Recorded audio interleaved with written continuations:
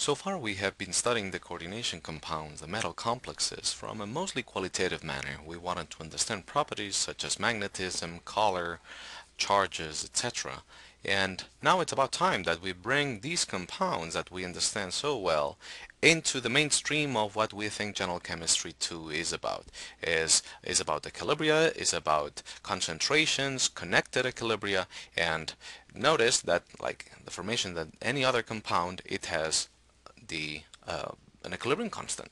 And unlike, if you remember for from solubility problems, the KSP, the solid is always on the left. The KSP has one single definition, and that's not the case for metal complexes. For metal complexes, you have two main kinds of reaction.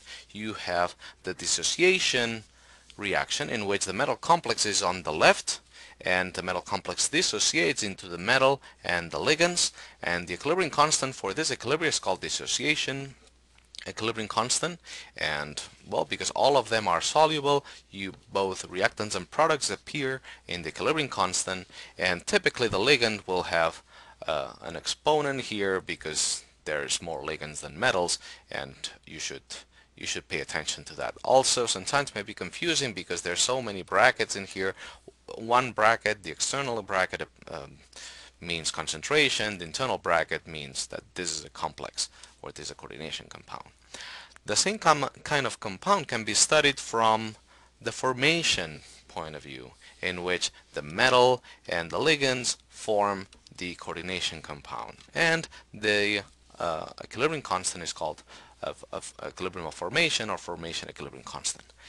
Notice that these two are the same reaction but reversed. Therefore, the relationship between the formation equilibrium constant and the dissociation equilibrium constant is the inverse, which should make sense for uh, a complex that dissociates very little, so that has a dissociation of 10 to the negative 10, it dissociates very little, it means that when you associate the ligands, it should associate, it should form very very easily. That is the inverse of 10 to the negative 10, the formation would be 10 to the 10. These two concepts are intertwined, they are connected, and therefore it makes sense that one is the inverse of the other. The equilibrium constant, of course, has this physical meaning as for how product bound this reaction is. So there is of course a quantitative aspect to all that and to do that um, we will we will show this quantitative by trying to solve um, trying to solve a problem. And in this case, it says consider a solution made by mixing 500 milliliters of 4 molar ammonia and 500 milliliters more of 0.4 molar of silver nitrate. Well, first of all, uh, it's uh, it just already telling you that it will form this complex, the 2 ammonia and 1 silver, but it will go through this intermediate. Notice that in this case we have two formation reactions and you will see this kind of split of the formation of the complex into as many steps as ligands your your complex have. So how do we know the overall reaction?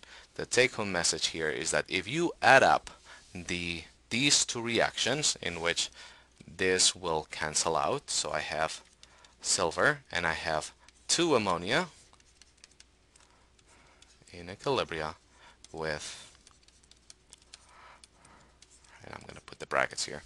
Now what is the equilibrium constant for this? The equilibrium constant when you add two reactions is the product so it'll be K1 times K2 so it's 2.1 times 0.2 10 to the 6 so that's close to 1.6 times 10 to the 7 it's a little bit more than that, but you need a calculator for that. That's the overall constant.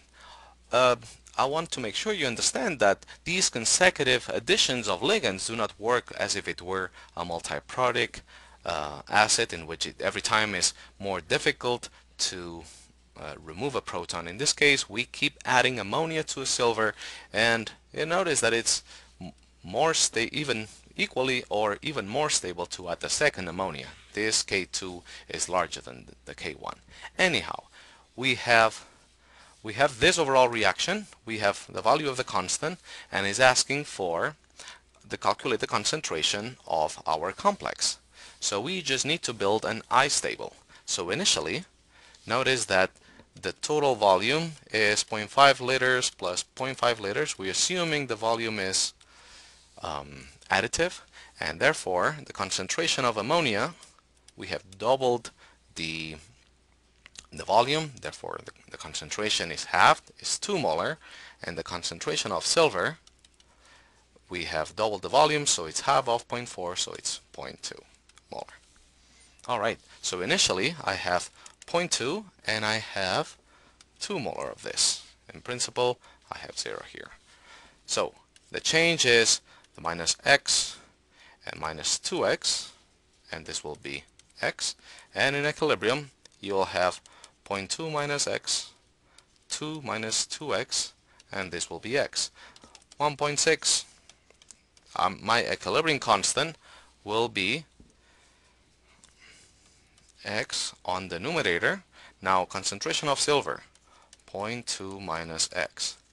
Concentration of ammonia but squared the concentration of ammonia squared okay? Notice that you could think that mm, x is going to be very large. So notice you in this case you can just not approximate as if it were zero. You actually need to need to solve it. Uh, there, there are some approximations as for well if if all the point 0.2 is gone because this is my limiting reagent x is going to be around 0.2 this could be my solution because this is the limiting reagent and this is a very displaced to the right reaction. However, if you want to calculate the exact number, you need to solve this equation. Uh, so depending on the level of answer that, that you want to give, this would be good enough or actually you need to solve for x. In any case, it's going to be very close to 0.2 molar because this is my limiting reagent and for a very product bound reaction you can assume that most of the silver will be gone.